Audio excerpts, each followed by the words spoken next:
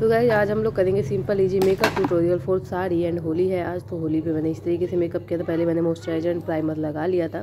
फिर मुझे याद आया कि मेकअप ट्यूटोरियल आप लोग शेयर कर सकते हो, क्योंकि इस तरीके की ईजी मेकअप की ज़रूरत सबको पड़ती रहती है।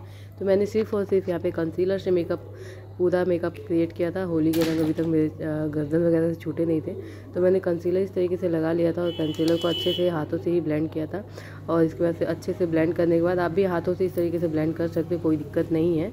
जब लोग पूरा प्रोफेशनल मेकअप करते हैं, तब हमको सिर्फ़ और सिर्फ़ ब्लेंडर से ब्लेंड करना चाहिए। बट हमको यहाँ पर थोड़ा सा मेकअप चाहिए था, बिल्कुल सिंपल सा तो मैंने इस तरीके से प्राइमर प्राइमर ज़रूरी है प्राइमर स्किप मत कीजिएगा।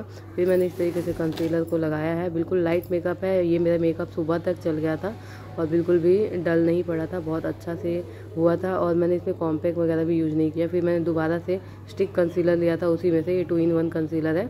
एक साइड लिक्विड है एंड एक साइड स्टिक वाला है। तो फिर मैंने स्टिक लिया था क्योंकि एक बार में जो फिनिशिंग चाहिए थी वो नहीं आई थी तो दोबारा से ले लिया और इस तरीके से हाथों से ही, जैसे हम लोग क्रीम लगाते हैं, वैसे ही मैंने इसको ब्लेंड कर लिया। ओके अच्छे से ब्लेंड करने के बाद से मैं यहाँ पे लूँगी लिक्विड ब्लश तो अच्छे से मेरा ये ब्लेंड हो चुका है। बगल में शीशा लगा हुआ था ताकि मुझे अच्छे से दिखाई दे रहा था कि ब्लेंडिंग हुई है या नहीं हुई है। उसके बाद मैंने ये लिया था। आ, मेरा मेकअप किट था। उसमें से मैंने अपना मेकअप फिक्सर एंड ब्लश निकाला। तो ब्लश मैंने इस तरीके से लगा लिया है एंड इसको हाथों से ही फिर से ब्लेंड करूँगी। ओके लाइट पीच कलर का ब्लश है ये। इस तरीके से मैंने इसको अच्छे से ब्लेंड कर लिया है। इसके बाद से मैं जब तक पूरा अच्छे से ब्लेंड ना हो जाए, तब तक आपको ब्लेंड करना है मेकअप का हर एक प्रोडक्ट तो इस तरीके से मैंने यहाँ पे ब्लश भी लगा लिया है। उसके बाद मैं यहाँ पे हाइलाइटर वाला लिया है मैंने। ये इजीली कहीं भी अवेलेबल होता है। ये इसमें ब्लश हाइलाइटर दोनों चीज़ें हो, होती हैं। तो आई मेकअप के लिए मैंने यहाँ पे कोई प्रोडक्ट लेकर नहीं आई हूँ गाँव पे। तो मैंने इस तरीके से पिंक कलर का जो हम अपने गालों पे ब्लश यूज़ करते हैं वही वाला आईज पे यूज़ कर लिया है। उसके बाद से मैंने पतला वाला ब्रश लिया है और जो सिल्वर कलर का हाइलाइटर है उसको मैंने आई लीड पे अप्लाई कर दिया था ताकि जिससे लगे कि मैंने आई मेकअप थोड़ा बहुत किया हुआ है। इस तरीके से आप भी अपने घर पे थोड़ा मोड़ा प्रोडक्ट है तो आप अपना मेकअप कंप्लीट कर सकते हो। देखिए इस तरीके से मैंने लगा लिया है। उसके बाद से आई इनर कॉर्नर पे यही हाईलाइटर यूज़ किया था। आईब्रो के नीचे के लिए ये बहुत बेस्ट है। आईज मेकअप के लिए ये हाईलाइटर ब्लसर जो है, काफ़ी ज़्यादा अच्छा है। आईब्रो के नीचे लगाओगे तो आईब्रो आपकी बहुत ही अच्छी दिखती है। लुक बहुत अच्छा आता है। और ये बहुत ज़्यादा फेयर लोगों पे जाएगा तो मीडियम कलर वाले ना ट्राई करें। आईब्रो के लिए यूज़ कर सकते हो।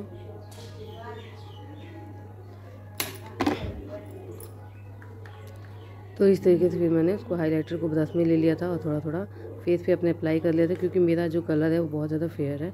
तो मेरे पे ये चल जा रहा था तो मैंने इस तरीके से अप्लाई कर लिया था। लेकिन हाइलाइटर लगा के कभी भी आपको इस तरीके से नहीं छोड़ना चाहिए, नहीं तो आपका मेकअप बाद में डल दिखने लग जाएगा। तो उसके लिए करना क्या वो मैं बताऊँगी आप लोगों को। थोड़ा सा हाईलाइटर मैंने अपने गर्दन वगैरह पर भी यूज़ किया था ताकि फेस और गर्दन मैच हो जाए अलग ना दिखे उसके बाद मैंने यहाँ पे ये देखिए इस तरीके का पाउडर लिया था।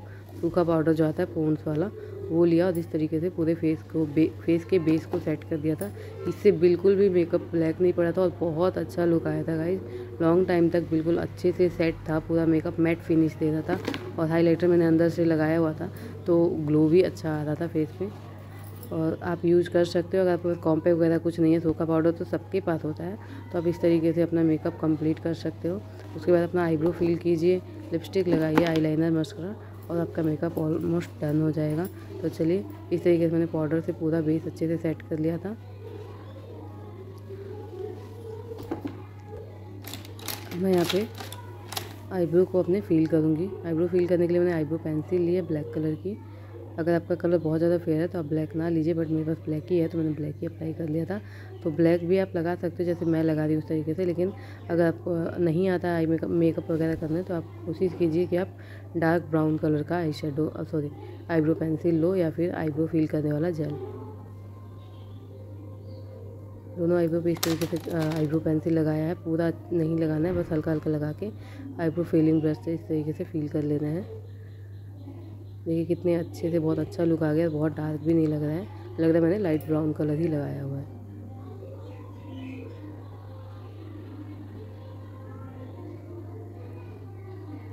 ओके तो हमारा आईब्रो भी यहाँ पे फील हो गया है। अब हम लोग लगाएँगे यहाँ पे आईलाइनर आई मस्करा लगाने के बाद से आईलाइनर लगाएँगे। नाइस सबसे पहले मैंने यहाँ पे काजल लगा लिया था। काजल लगा के आप आईलाइनर लगाते हो तो क्या होता है कि आपका जो काजल है, वो बिल्कुल भी नहीं फैलता है और बहुत लॉन्ग टाइम तक चलता है और बहुत अच्छा लुक आता है। तो कभी भी आपको काजल लगाना है तो पहले आप काजल लगा लो और लाइनर नीचे ज़रूर लगाओ जिससे कि आपका काजल लॉन्ग लास्टिंग रहेगा और बिल्कुल भी फैलेगा नहीं। अब उसके वजह से मैंने यहाँ पे मस्करा लिया है लेकमी नाइन टू फाइव का बहुत अच्छा मस्करा है और बिल्कुल भी निकलता नहीं है। बहुत लॉन्ग टाइम से मैं इसको यूज़ कर रही हूँ। और लाइनर मैंने चेंज कर दिया बेस्ट लाइनर मुझे मिल गया मेरा। मतलब बहुत ज़्यादा फेवरेट लाइन फेवरेट हो चुका है ये आई लाइनर तो कौन सा है वो मैं बताती हूँ अभी आपको।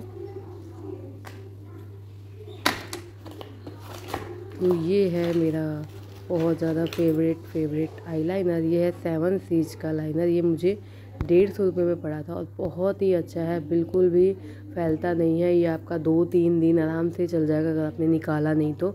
और जब निकालोगे तो भी ये नहीं फैलता है, आप तेल वगैरह निकाल, लगा के भी निकालोगे तो भी ये पपड़ी की तरह निकल जाता है, लेकिन आपका फेस पे बिल्कुल ब्लैकनेस वगैरह कुछ नहीं छोड़ता है। तो लाइनर मैंने कुछ इस तरीके से, डिफरेंट तरीके में लगाया नीचे पहले लो वाटर लाइन पर इस तरीके से लाइनर लगाया है। ओके। तो आप भी इस तरीके से लगाओगे तो काफ़ी प्यारा लुक आएगा। तो लो वाटर लाइन पे इस तरीके से पहले लाइनर को अप्लाई करना है। और सॉरी फैल गया थोड़ा तो कोई बात नहीं मैं आ, विंग्स में अपनी चौड़ी ही रखती हूँ। मेरे पे सूट करता है इसलिए आप पे जैसे अच्छा लगे आप उस तरीके से लगा लीजिएगा। और धीरे धीरे इनर कॉर्नर तक लेके आएँगे और इस तरीके से लाइनर को मिक्स कर देंगे। अब हम लोग ऊपर की तरफ़ लगाएँगे।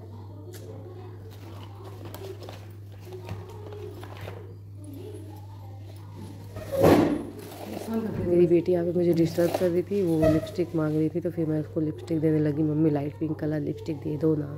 तो मैंने उसको दिया, फिर मैं बोली तो मुझे बहुत डिस्टर्ब करती भाग जा जल्दी से।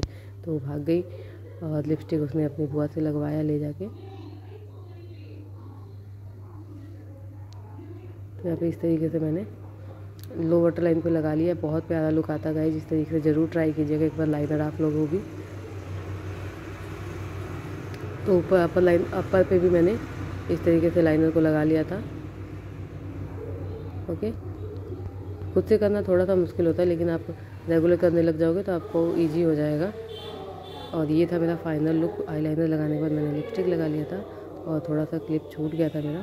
तो कैसा, कैसी लग रही कमेंट बॉक्स में ज़रूर बताइए साड़ी कैसी लग रही साड़ी साड़ी मेरी सासू ने मुझे गिफ्ट किया था। और यहाँ मेरी बेटी आ गई जिसने पिंक कलर का लिपस्टिक मांगा था। तो इसने लिपस्टिक लगा लिया था और मैंने भी लगा लिया, फिर वही वाला लिपस्टिक जो इसने लगाया है। और यहाँ पे मैंने थोड़े से फ़ोटो क्लिक किए थे अपने हस्बैंड के साथ तो मैंने सोचा यहाँ पे थोड़ा आप लोगों के साथ शेयर कर दूँ। तो इस तरीके से आप भी अपना makeup simple easy makeup quick makeup कर सकते हो। कहीं भी जा रहे हो पार्टी फ़ंक्शन में तो बहुत ईजिली कर लोगे। आपके पास बहुत ज़्यादा मेकअप प्रोडक्ट नहीं है तो बहुत ईजी आप ईजी और प्रोफेशनल तरीके का दिखेगा मेकअप